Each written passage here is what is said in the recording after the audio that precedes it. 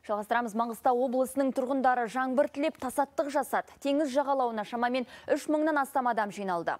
Оларға өңірдің бас имамы Әнуар Ержанов жаңбыр тілеу намазының мағынасын түсіндірді. Содан кейін көпшілік Маңғыстау өңірі үшін жуын тілеп арнайы дұға оқыды. Айта кетейік, аймақта 2 жылдан бері қуаңшылық салдарынан ресми дерек бойынша мың жарымға жуық мал аштан қырылды.